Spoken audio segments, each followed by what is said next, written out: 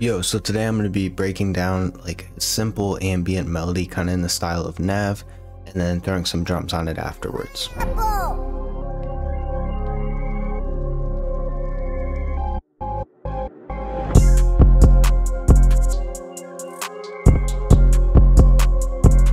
Alright, so the first sound I used is this pad from Omnisphere.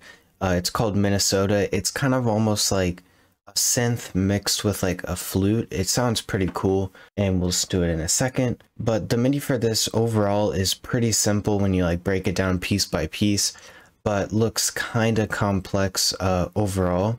And the biggest tip I have for ambient melodies is uh, don't overdo it. Like leave space for like the sound to do its thing. Let like the sound work for you. And also, I find it really helpful to look at like making the MIDI almost like you're making an emotional melody mixed with like some parts of like a dark melody. So using a lot of those notes in the scales that are right next to each other. Uh, just thinking about that really helped me uh, come up with this one. But like I said before, have a lot of these notes that are next to each other in the scale, here, here. And then the whole top line is just a repeating thing uh, with the A sharp and B. So again, going back to like keeping it uh, rather simple, uh, this section is the exact same as this section. Uh, the only difference is this bass note changes. So all of this middle stuff is exactly the same, just copied over. And it doesn't really get boring because I have this little thing at the end and this little note here. And also the bass note changes, so I that adds a little bit of variation. But that just like kind of keeps it very simple, kind of catchy and repetitive. Uh, so yeah. So now I'm going to go ahead and play this without effects so you guys can hear it.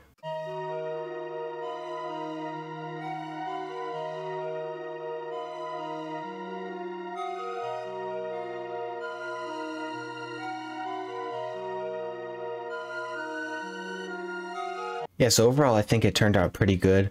And another thing that kind of ties in with like the dark melody thing is this is basically the most like basic little Baby piano uh, piano progression, but it works well for this too. So then I put effects on that, uh, which is halftime on the half preset. I felt that the quarter preset uh, like almost sped it up too much and made it like you wanted it to turn it into like a dark bouncy beat instead of like a slower ambient one. So I put it on half and then just a uh, cut on the lows and then an imager. So after those effects, it sounds like this.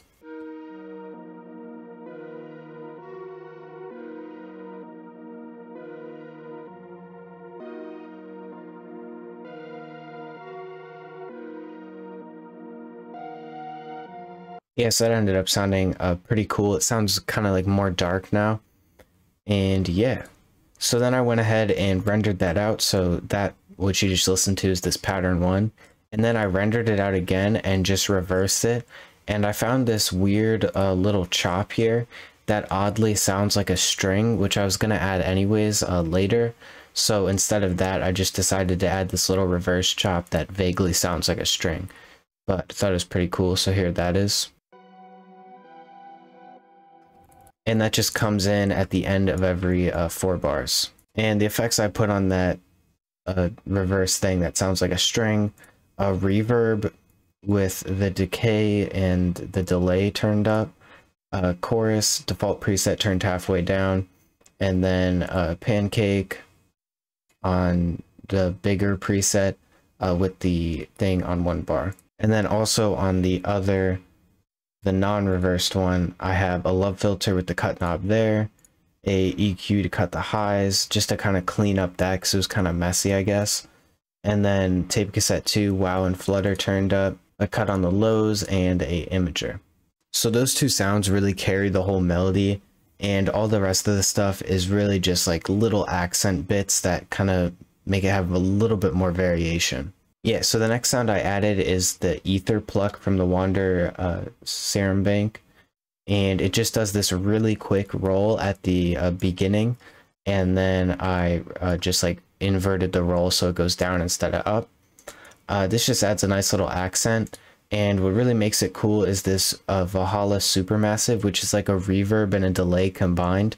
So I have it on the carousel preset with the warp turned to 30 and if you mess with the warp, you can get some really cool effects with it.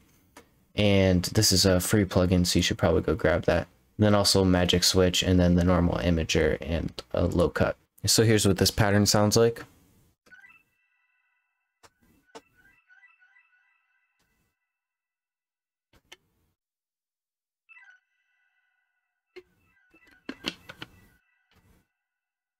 Yeah, so that uh, Supermassive plugin really brought this like together and made it sound a lot more cool.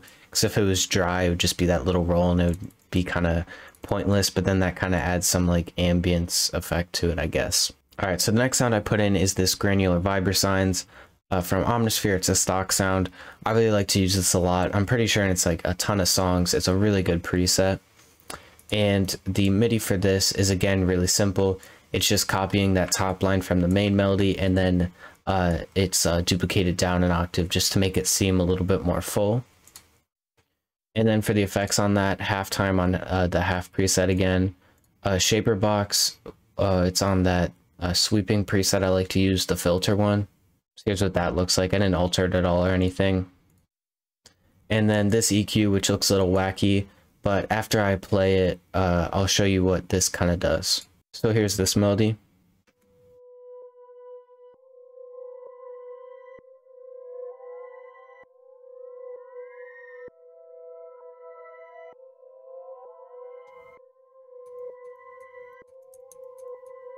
Just fills up some of that high end and it sounds pretty cool overall. Kind of spooky. All right, and then for that EQ, uh, I said I would explain earlier, there's like a harsh frequency right here, but it really doesn't bother me that much because that's like the low note of the melody almost. But you can see that there's going to be one that like sweeps right up to here. And that was just kind of like a droning kind of sound, like kind of a little bit high pitch, but it sounded pretty not okay. So I took that out.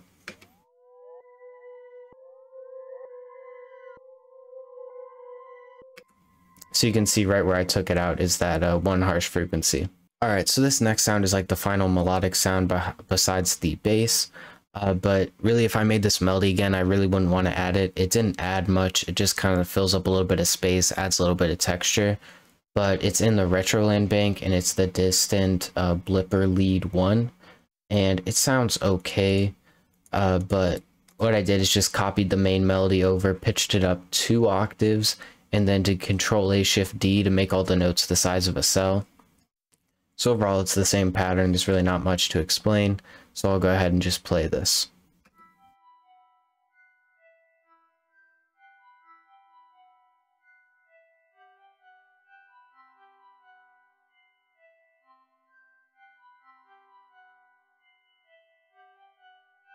My original idea was with uh my original idea with this sound was kind of to give the melody a little bit more energy. Like sometimes i do in the hyperpop melodies where there'll be the bass melody and then i'll just have like repeating plucks under it that like lay real low but still give it a lot of energy. Uh, but that didn't really work out and i didn't feel like it fit into the melody because it is kind of slow ambient kind of thing. Okay so the final sound is this growler moog bass. I use this all the time in my like darker ambient loops sometimes in like piano stuff, but not usually. And just copies the bass notes. It's a bass, so I'm just going to go ahead and play it, and then you can hear what it sounds like.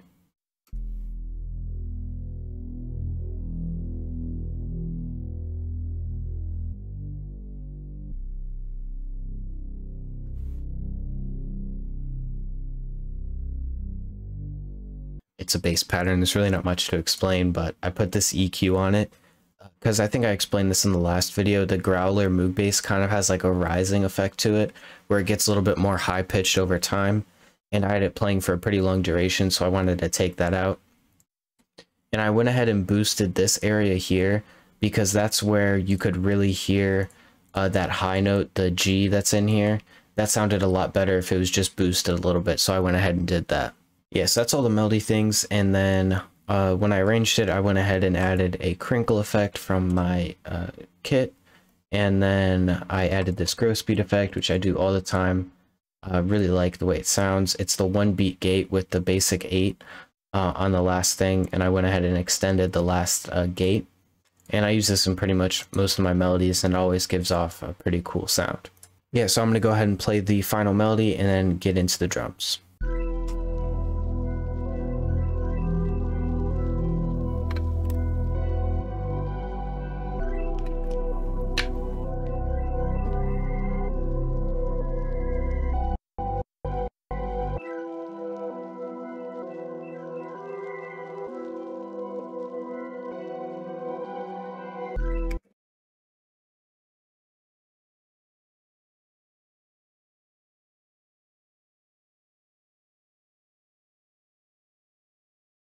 Okay, so this is gonna be a super weird video.